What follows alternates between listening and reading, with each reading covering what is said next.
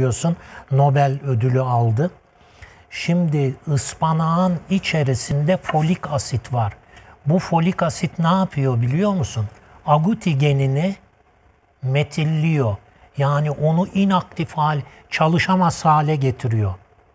Agusti geninin önemli görevlerinden birisi nedir biliyor musun? Şişmanlatmak, obezite, obezi, obeziteyi tetikler. Onun için eğer e, obez veya obez demeyelim de kilo almaya karşı bir yatkınlığınız varsa lütfen haftada birkaç kez ıspanak tüketin. Yani bu normal yemeğini e, yapabilirsiniz ama içine çok fazla salçadır, şudur, budur e, olmayacak. Yani onu söyleyelim.